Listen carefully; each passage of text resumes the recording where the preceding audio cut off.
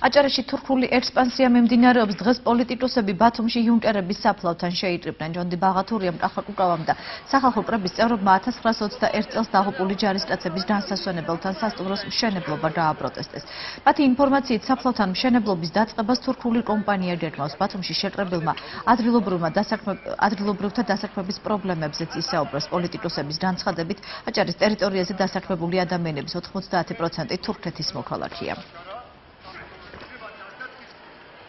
ჩვენი მიზანია აჭარის ტერიტორიაზე პოლიტიკური სპექტრის და საზოგადოების სრული კონსოლიდაცია, რათა აჭარა გაიწმინდოს იმ ანტიქართული ძალებისგან, რომლებიც ახლა მოქმედებენ საქართველოსში და განსაკუთრებით აჭარის ტერიტორიაზე, რომლებიც ცდილობენ თავის დროზე რომ იუნკერების საფლავზე დაედგათ აზიზიას მეჩეთი. არანაირი პროტესტი ჩვენ არ აგვაქვს იმის წინააღმდეგ, რომ ქართულ მუსულმანებს კონდეთ მეჩეთები და თავისი სალოცავი ადგილები, მაგრამ ამას არანაირი შეხება თურქეთის რესპუბლიკის მთავრობასთან და თურქეთის რესპუბლიკის ფინანსებთან და თურქეთის დამპყრობელი სულთნის სახელთან არ უნდა კონდეს და